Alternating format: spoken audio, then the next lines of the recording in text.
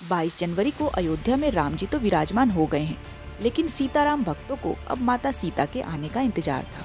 और अब राम जी ने अपने भक्तों का ये इंतज़ार भी खत्म कर दिया। बता दें कि अब माता सीता का दिव्य और भव्य मंदिर बनने जा रहा है। माता सीता के भव्य मंदिर के बनने की पुष्टि खुद मध्य प्रदेश के मुख्यमंत्री डॉक्टर मोहन यादव ने की है। सीएम यादव ने इस मंदिर को श्रीलंका के दिवुरम पोला में बनाने की बात की है। उन्होंने बताया कि श्रीलंका में माता सीता का मंदिर बनने का ये फैसला पूर्व मुख्यमंत्री शिवराज सिंह का था। उन्होंने कहा कि हम पुरानी योजनाओं पर काम करने की सोच रहे हैं और हमारी कोशिश है कि हम अपने उचित संसाधनों के आधार पर माता सीता के मंदिर का निर्माण पर ज़रूर पहल करेंगे। अगर श्रीलंका सरकार इस मंदिर के निर्माण के लिए राज़ी हो जाती है तो इससे देश के धार्मिक पर्यटन को भी बढ़ावा मिलेगा। बता दें कि रामायण में जिस अशोक वाटिका की बात की गई है, उसका प्रमाण श्रीलंका में मिलता है।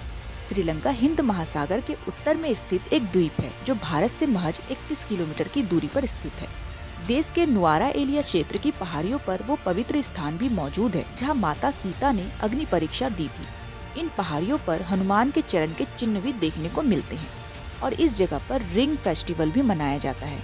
मान्यता है कि अशोक वाटिका में ही माता सीता को भगवान हनुमान ने श्री राम की अंगूठी दी थी। इसी आधार पर यहाँ त्योहार मनाया जाता है। भारत और श्रीलंका के बीच ऐतिहासिक रिश्तों की मजबूती के पीछे एक कारण यह भी है। इसलिए सीएम यादव का कहना है कि मध्य प्रदेश सरकार माँ सीता के मंदिर बनाने के कई साल पुराने सपने को पूरा कर सकती है।